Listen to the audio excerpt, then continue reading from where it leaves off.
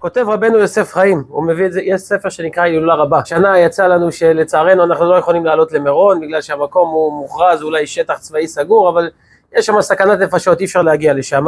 אז הוא כותב, וזה גם מובא במאור עיניים, בישמח ישראל, בברכת אברהם, בכמה, בכמה מקומות, שבכל זמן ובמיוחד בעיתים שאין אפשרות לעלות ולהשתטח על ציון הרשב"י ביום ההילולה, לימוד בתורה של הצדיק, בזוהר הקדוש, כל מיני מאמרים של הזוהר, נחשב כהשתתחות ממש. אז זה שלומדים זה כאילו אנחנו עולים, ובספר חסידים הוא כתב שכל האומר דבר שמועה מפיהם הם מתפללים עליו והם מליצים עליו.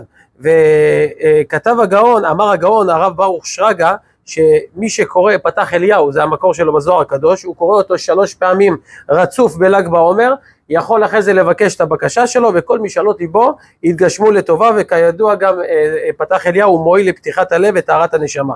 הרבה אנשים שואלים, יש אנשים שרגילים לעלות ברזל, כל שנה רגילים לעלות בל"ג בעומר לציון הרשב"י. זה נדר נדר, יש את הסגולה של חי רוטל, זה קרה לו איזה צרה, זה קרה לו איזה עניין, אז הם נדרו, התהפך העולם, אנחנו עולים כל שנה לרשב"י. עכשיו, היה לנו את זה גם בקורונה, בקורונה סגרו לנו את המקום, אי אפשר לעלות. השנה גם כן אי אפשר לעלות, כי, כי יש מלחמה, הוא נדר נדר, מה עושים עם הנדר? האם צריכים מטרת נדרים או שלא צריכים מטרת נדרים? אז קודם כל אנחנו יודעים שאדם שהוא נהג מנהג טוב, או איזה חומרה, מה זה חומרה? שהיא לא מחויבת מעיקר הדין, הוא רצה לתת אקסטרה, לתת משהו נוסף, הוא נהג חומרה שהיא לא מעיקר הדין, אה, אה, אה, והוא לא אמר בלי נדר, אפילו שהוא לא, אפילו שהוא לא אמר שמדובר בנדר, אלא רק התכוון לנהוג ככה לעולם, יש למנהג הזה תוקף של נדר, גם אם הוא לא התכוון כלום יותר מדי, רק, רק נהג את המנהג הזה שלוש פעמים, יש, יש לזה תקפות של נדר. מתי זה נדר? קודם כל אם בן אדם חשב. אם מספיק שהוא חשב על עצמו, אני הולך לקבל על עצמי את הדבר הזה בלי נדר לעשות ככה וככה, לא צריך שלוש פעמים, בפעם הראשונה תפס, אבל גם אם הוא לא חשב, אלא הוא נהג איזה מנהג שהוא ככה טוב, מבורך, תכף נראה, נראה מה זה נדרי מצווה, הוא נהג ככה שלוש פעמים, אז יש לדבר הזה תוקף של נדר, ו- ואם הוא רוצה להפר אותו הוא צריך התרה. למשל, אדם שקיבל על עצמו להתענות בכל ערב ראש חודש, לא חייב ולא כתוב שצריך להתענות, מי שרוצה תבוא לו ברכת הטוב, או יש כאלה שרוצים להתענות ביום הפטירה של ההורים שלהם.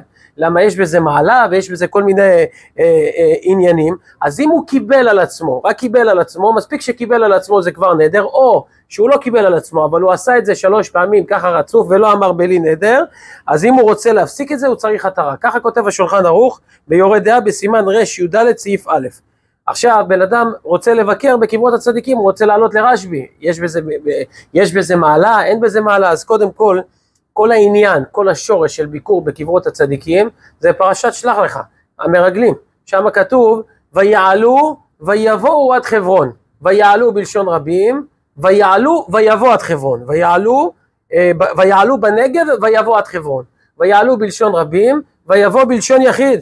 למה נאמר ויבוא בלשון יחיד? אז הגמרא בסוטה ל"ד אומרת שמדובר פה על מרגל אחד.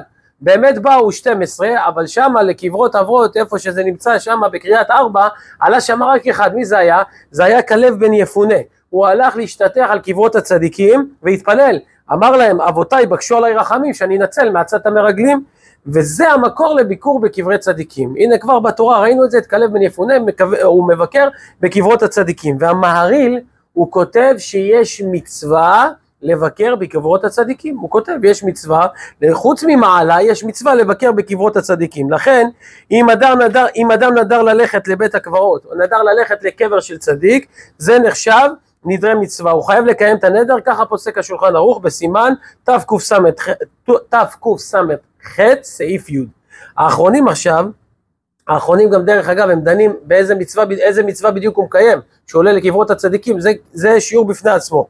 אבל לכאורה מי שרגיל כל שנה להגיע למירון, והשנה השערים ננעלו בפניו, אז לכאורה הוא צריך לעשות התרת נדרים, כי הוא אמר אני מגיע כל שנה, שאלה איך הוא עשה את זה. עכשיו שימו לב, כותב הדגול מרבבה ביורד דעה בסימן רי"ד, התרת נדרים צריך לעשות רק מי שנהג במנהג טוב, ועכשיו הוא רוצה להפסיק אותו לחלוטין. הוא רוצה לבטל אותו, אבל הוא רוצה פשוט לבטל אותו, הוא לא רוצה להמשיך עם המנהג הזה. אבל אם הוא רוצה להמשיך במנהג הזה, רק יש לו בעיה חד פעמית. השנה הוא, סגרו לו את הכ... הוא לא יכול, הוא לא יכול לעשות את זה. הוא רוצה, הוא לא רוצה לבטל את המנהג. יש לו בעיה חד פעמית, הוא אנוס או נבצר ממנו, אבל כמובן בשנה הבאה הוא יחזור למנהג הטוב שלו.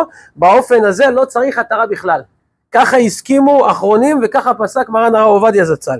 אם אדם, אבל שימו לב, זה אם היה לו מנהג או שהוא ככה חשב והוא לא אמר את זה בצורה מפורשת בתור נדר, אלא או שהוא כיוון ככה פעם אחת או שהוא ככה נהג שלוש פעמים, אבל שימו לב, אם, אה, אה, אה, אם אדם נדר, הוא נדר ממש, זאת אומרת אמר אני נודר להגיע למירון כל שנה, אני נודר, אני נודר להגיע למירון כל שנה בל"ג בעומר, למה? מפני צרה, מפני זה, כי יש סגולה, מה שהוא רוצה, הוא אמר, הוא הוציא את זה בפה ואמר אני נודר נדר להגיע כל שנה בל"ג בעומר למירון, זה נחשב לנדר, באופן כזה הוא צריך להתחרט על הנדר והוא צריך לעשות התרת נדרים אפילו שהשנה הוא לא יכול והוא רוצה לנסוע בשנים הבאות כי פה נתת תוקף חזק לנדר, לא עכשיו פירקת אותו ואמרת אם יש בעיה אני לא אסע, נדרת נדר, אני נוסע, ללג, אני נוסע אה, בל"ג בעומר לרשב"י וגם אם יתהפך העולם גם אם יהיה מלחמה, אז זה, זה נדר לכל דבר, אתה צריך לאתר אותו, אבל אם זה לא היה נדר מפורש, אלא בן אדם הוא פשוט נהג ככה, שנה אחת, שנה שנייה, שנה שלוש, שלישית חזקה, וכבר הפך להיות, ולא אמר בלי נדר, והוא רוצה לנסוע בשנים הבאות, רק השנה זה בלתי אפשרי, כי יש לנו מלחמה, ומצד הדין, הוא לא צריך לעשות התרת נדרים. מה גם? שהתרת נדרים, אם אתם זוכרים, אנחנו עושים בערב ראש השנה, ואנחנו עושים בערב יום כיפור, ושם זה מועיל למנהגים טובים שאדם נוהג, שלא יהיה להם תוקף. הוא אומר את זה במפורש בהתרת נדרים, גם מנהג טוב שנהגנו ולא אמרנו בלי נדר, אז הנה יהיה להם תוקף, אבל ברגע שהוא הוציא מהפה ואמר אני נודר, אני נודר ככה כל שנה לעלות, גם אם הוא שנה בצורה חד פעמית הוא רוצה לבטל, הוא לא יכול לעלות כי לא מתירים לו בגלל המלחמה, הוא בכל אופן, הוא צריך לעשות התרת נדרים.